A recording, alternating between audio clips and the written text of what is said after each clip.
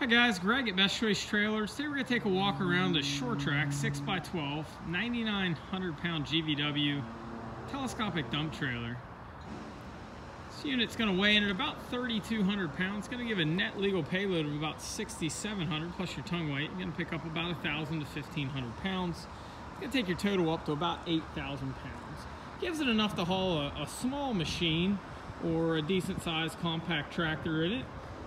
A lot of guys like this six foot width because uh, it is about a foot narrower than the seven wides, which makes it a little bit more user friendly for getting in and around tighter places. Uh, telescopic hoist is something that is upgraded on this model. Uh, ideal for a higher duty cycle commercial user. So the two features that we put on this particular unit are the telescopic and also the adjustable coupler up front. Everything else on this unit is standard equipment. This is a 6x12 10K dump. So let's take a walk around. It will show you all the standard features. So again, up front, this, uh, this coupler is an option. Notice it has a six bolt uh, nose plate. So you've got four different adjustments that you can set it to to raise the coupler up and down. It is a cast style coupler, not the stamps. It's a little heavier duty. It's a little different than some are used to. Forward is actually open, back is closed. So right now it's in the forward position. Of course, you've got your standard uh, pin for your safety.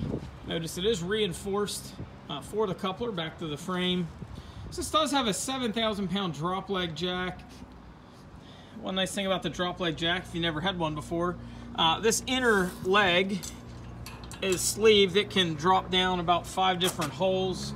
And then your outer sleeve there is uh, adjustable via the top line handle. Has a nice wide foot, ideal if you ever need to put it down in dirt or sand or similar. Not going to sink down. Uh, with all the adjustment, no need to carry around wood block or similar.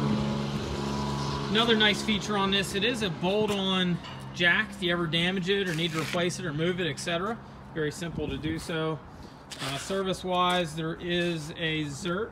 I guess it's on the back side here. Uh, you can uh, service the jack. It's also got an integrated plug holder for your wiring harness. It's got the standard 7-pin blade found on most all modern vehicles and an integrated plug holder. Wiring harness on this is sealed. Notice it's grommeted and ran in frame. Of course, your standard breakaway cable that would hook up to your truck if you ever came disconnected. Another nice feature is the safety chains do have a holder. Now, with the adjustables, I like to hook them on to each side there. Gives you a nice spot, but there is an integrated holder as well. So this does have a standard toolbox. It is lockable. Keys are always on the back side of the handle, in case you're ever wondering. Does have a Group 24 Deka Deep Cycle Marine battery. It's a 140 amp hour battery. The main terminals obviously are for the going to the pump and then smaller wires are the auxiliary wire harness uh, that's going to go through your truck's 7 pin connection. It's going to give you about a 3.7 amp hour so if you have a 140 battery and a 3.7 charge off the truck it's going to be a very slow charge. It's going to take a lot of driving to fully charge the battery.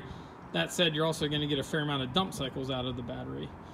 Uh, something like this, about 30 hours to get charged off the truck. You're going to get probably 10, 15, 20 dump cycles out of a fully charged battery with this telescopic hoist. Uh, of course, depending on the time of year and depending on what you're putting in the dump itself.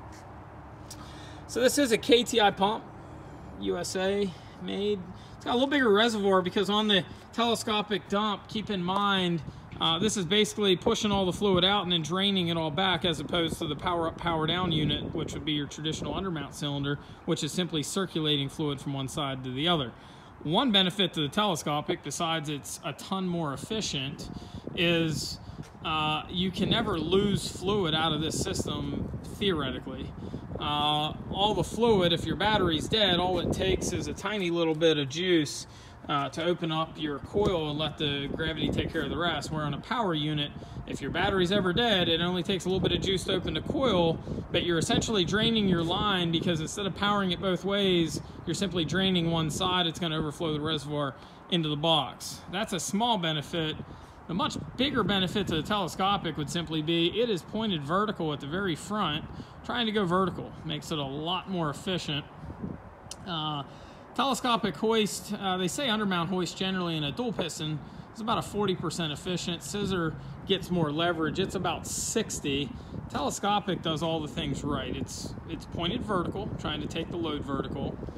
Um, it's also all the way at the front, so it has all the leverage in the world. And then we'll show you in a second, it's actually a three-stage cylinder, so it's always in the right gear, so to speak, uh, versus most of your trailers uh, need to be in the wrong gear, so to speak, to get started, but then uh, they never get to change gears. Uh, this with a three-stage setup, it's, it's always uh, uh, near its optimal efficiency. So a couple things on this uh, Sure-Trac dump. The tongue is a little bit longer uh, due to the telescopic. So you a little bit nicer if you've got maybe a dolly truck or a flatbed and you can certainly make use of that extra length. Uh, this is a traditional stack frame, meaning you've got a full wrap tongue running back to the spring hanger and then you've got a main frame. Uh, some now in the industry are doing what we call mono frames. So they're doing from the front all the way to the back out of one. And what they're doing, they're cutting out uh, this bit of steel here, which is actually where you most need it. Your highest point loads are going to be from your axle to your coupler, halfway point right there, your double stacked uh, frame. Now, speaking of frame on this, Sure-Trac's using uh, a tubular uh, frame on these. Again, it is a full wrap. Uh, so you've got your tongue, your main frame, and then also they use a four inch tube bed frame and then you'll notice between the bed floor and the uh, bed itself, they silicone all your joints. Try to keep it as corrosion free for as long as possible. This unit is powder coated. It does have the newer style bullet LED lights. Stake pockets going down the sides if you want to build sides up at all. It's also got your hooks for uh, if you do a tarp kit and you want to hook down with your bungee cord on those, you can. It's got the front and rear bulkhead on these. Now, normally Sure-Tracs uh, lift over the front a little bit. These are straight because of the telescopic setup itself. Already set up for the tarp kit.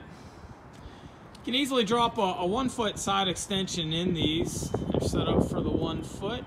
If you just put a 2x10 or 12 in, normally what we do right about where the stake pockets are is come up from the bottom, lag into that board, and it'll hold it very, uh, very much in place. Uh, but if you're going to go more than that, you would want to use the stake pockets on this. Uh, another benefit to the Sure-Trac, this keyway in the sidewall adds a ton of strength uh, to this trailer without really adding a whole lot of additional weight. Uh, so it gives you the highest available payload uh, while making the strongest available trailer. Now you notice on this particular unit, uh, it is fully seamed welds. A lot of manufacturers will stitch weld. That's all full seam along the perimeter. Notice the D-rings are also up off the floor uh, out of the way. Fifth D-ring up front. Suppose if you wanted to use a come along or similar, uh, you can do so. Integrated side step if you need to step up into the trailer or just get a little bit more height to tie something down. Has the double broke fenders. Some in the industry will just use a single broke. Uh, more bends, of course, on this make it a little bit stronger. It's got the 5,200 pound axles, which comes with a six bolt silver mod wheel. Has a 225-75 R15 load range D 8 ply radial tire. It's also got the newer style forward adjusting brakes, and then it's also got the Easy Lube hubs. If you're not familiar with the Easy Lube hubs, when the trailer's nice and new, these will peel out nice and easy for you. Uh, there's a grease zert behind that, and you would simply uh, grease your hubs once a year is the recommended interval. As soon as you see the fresh grease come out, you would uh, you would stop your greasing so you don't push the inner axle seal out. Green cap on these do mean they're nitrogen filled. One nice thing about nitrogen, it doesn't have the humidity that your traditional air does. I'm told that that will help keep uh, your tires from getting dry rot on the inside uh, of them. Sidewall on these are 20 inches. Industry ranges from 18 to 24. We see more normally in the 18. 20 is like we find to be about the perfect height. And then certainly if you have anything that's lighter material you want to go up higher, you do have the ability to do so. Combination two-way gate on these are standard. This would open up from the center, do your traditional barn door. Then you can also set your depth and you can spread your material as well. So it's got a two-way function. It's got grease zerks at the top and then on your hinges, middle and bottom. One nice thing about these, they uh, they cap off the rear, box that in, put a nice heavy duty hinge with a grease zert on it. Lots of serviceability. Again, you notice that between all the seams are still sealing those all up. A little bit heavier duty top hinge, added that about a year or two ago. Uh, a little bit heavier duty hook bars. Uh, also made the ramps just a hair wider for you. One nice thing we like about these ramps is how simple they are to deploy. Simply turn that 90 degrees. It's automatically going to weight down, never going to go anywhere. Simply, simply grab those from the back. They added about three inches of width to these. And uh, very simple to use as are most things Sure-Trac.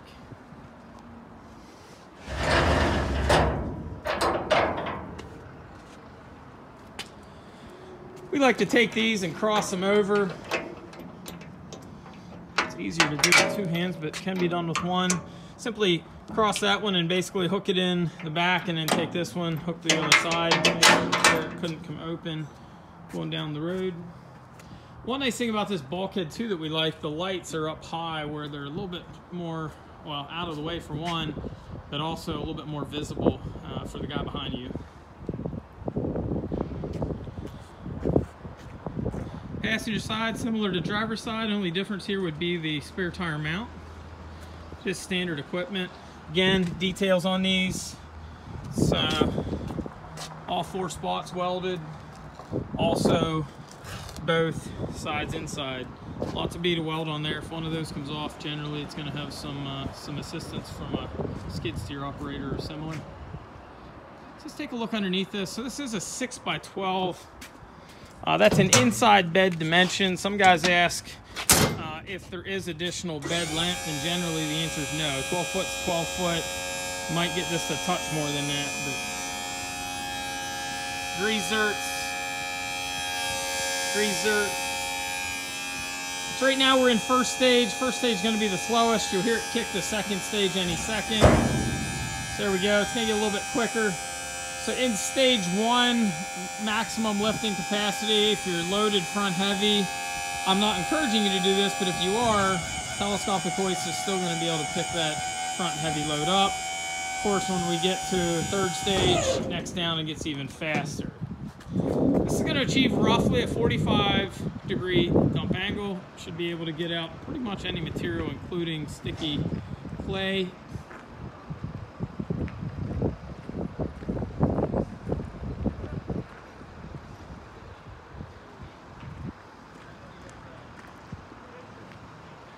On this particular unit, Sure-Trac does upgrade to a 4-inch cross member. Telescopics are built just a little bit different than would be a scissor or a single piston. Single piston would be standard on this size dump and certainly all the more hoist that the average user uh, would really need.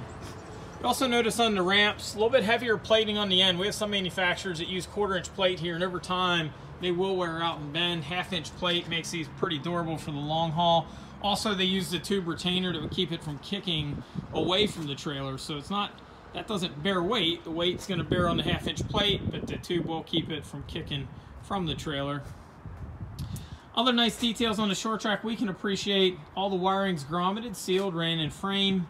Notice the brake connections on those are sealed.